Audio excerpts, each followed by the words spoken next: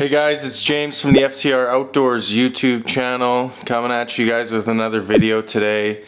Today we're heading into brown trout country. So we're gonna try and uh, find some flowing water here in early spring in Alberta.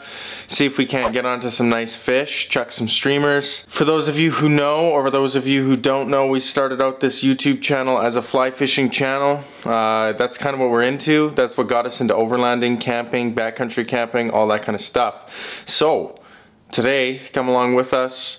We're gonna see if we can find some moving water we're gonna hit the road. Uh, so stay tuned guys, we'll see you in a bit. Or we'll just not catch fish because that's what we do.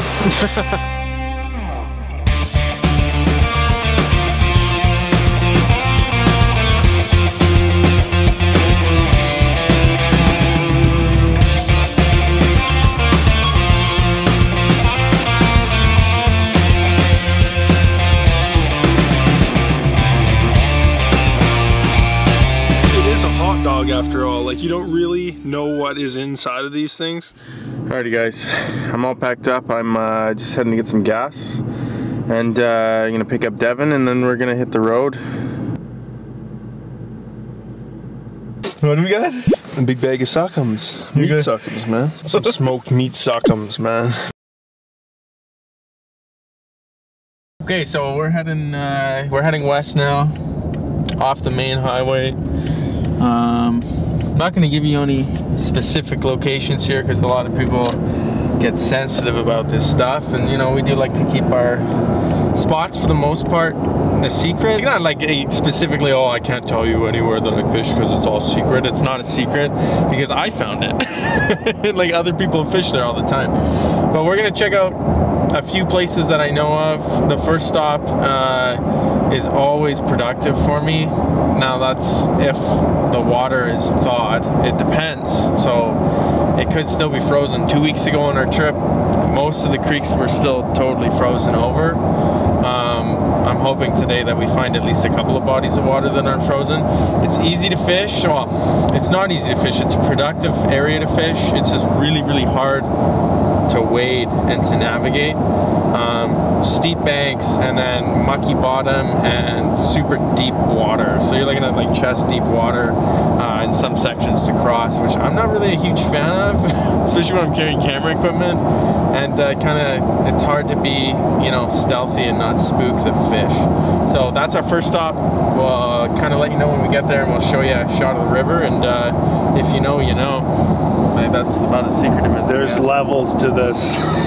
Alrighty guys, uh, we made it uh, to the spot, the first spot, 11.40, I left at 9.15, so 2 hours and 45, or two and a half hours. It looks really good, so uh, I'm pretty excited, I'm pretty hopeful for today. I'm, I, am very confident we're gonna get onto some fish. We're gonna get geared up here. Um, he'll probably catch a little bit of b-roll of that and uh, we're gonna make our way down to the river and we'll start fishing.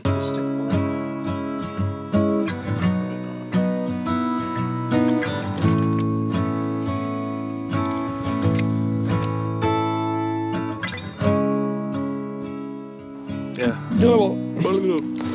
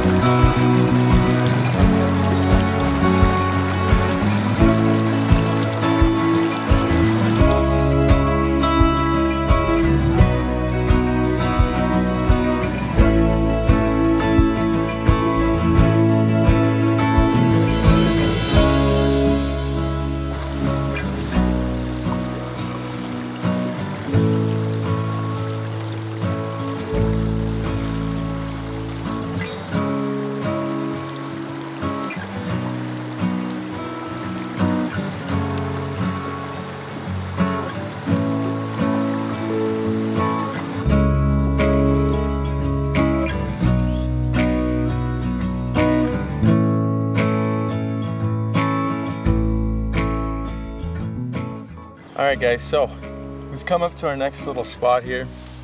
Um, normally this is probably a solid two feet deeper. Uh, runoff hasn't started at all, so we're hitting it perfect right now. The melt is pretty much complete, um, at least at this altitude. And uh, you guys will see in the footage, we just had a really solid brown take. Um, I make jokes all the time. First fish on all my trips, I tend to lose. And that was a solid fish. I would have given him about 18 inches. He was heavy, he pulled hard, and uh, I just didn't have good enough of a, a strip set on the guy.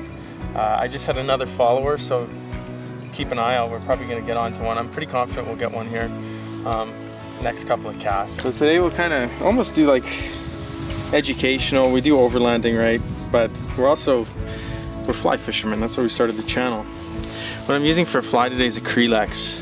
Um, so around here, Kreelexes work really good. They're super easy to tie. Um, basically just flash, uh, lead weight, and then, or not, or a tungsten wrap, and then a tungsten or brass hourglass eye. Um, these are not fancy, they're super easy to tie. Nice thing about it is it's heavy, so you got quite a bit of weight. You don't have to, to lead it with a split shot, and it kind of represents a small trout. So let's give it a go here again.